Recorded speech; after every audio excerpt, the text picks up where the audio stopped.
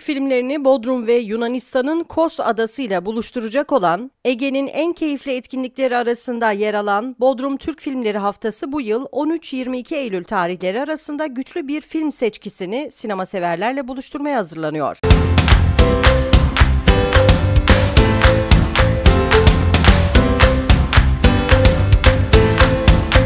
Kültür ve Turizm Bakanlığı Sinema Genel Müdürlüğü, Bodrum Belediyesi, KOS Belediyesi, Bodrum Ticaret Odası, Magazin Gazetecileri Derneği ve Sinemarin sinemalarının katkılarıyla Bodrum Sinema ve Kültür Derneği ve Sinema Salonu Yatırımcıları Derneği tarafından düzenlenecek 8. Bodrum Türk Filmleri Haftası'nın basın toplantısı gerçekleşti. destek olacaksınız.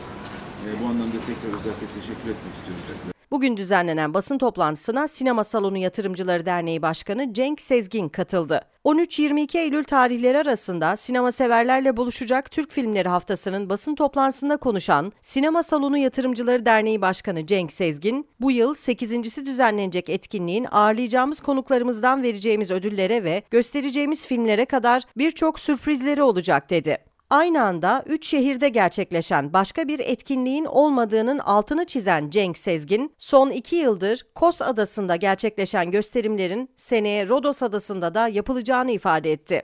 Geçtiğimiz yıllarda profesyoneller kuşağı olarak gerçekleştirilen programın bu yıl Sine Bodrum adıyla 13-16 Eylül tarihleri arasında yapılacağının bilgisini veren Sezgin şunları söyledi.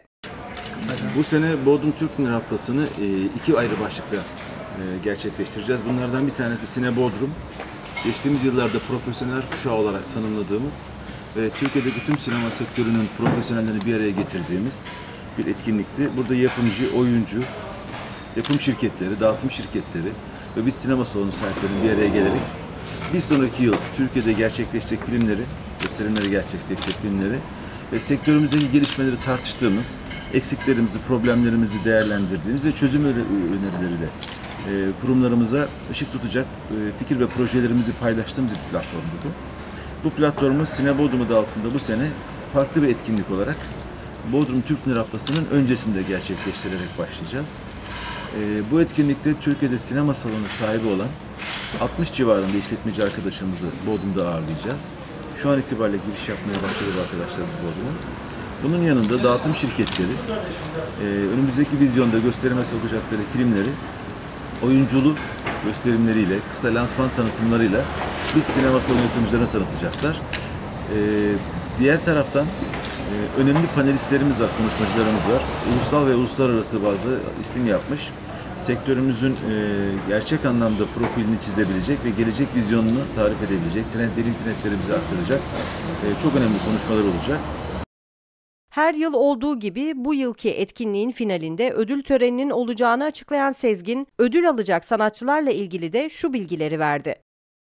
Tabii ki her sene olduğu gibi bu sene de bu etkinliğimizin finalinde Türk Filmleri Haftası başlamazdan evvel Sine Bodrum biterken bir ödül törenimiz olacak.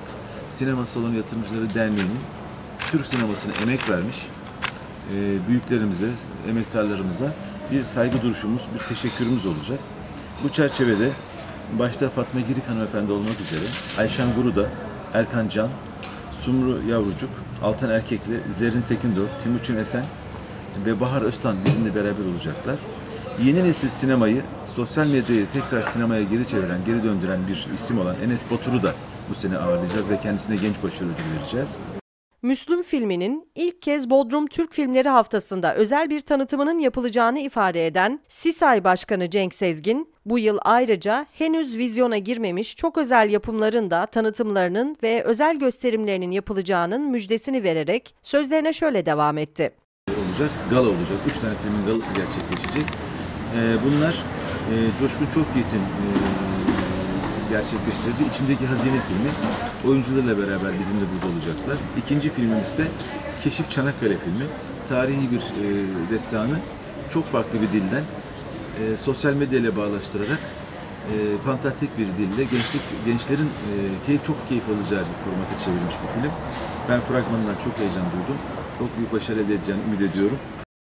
Cenk Sezgin, Bodrum Türk Filmleri Haftası'nın gerçekleşmesinde emeği olan herkese teşekkür etti. Bu yıl gösterimi yapılacak filmlerle ilgili www.bodrumtürkfilmleri.com adresinden bilgi alınabilir.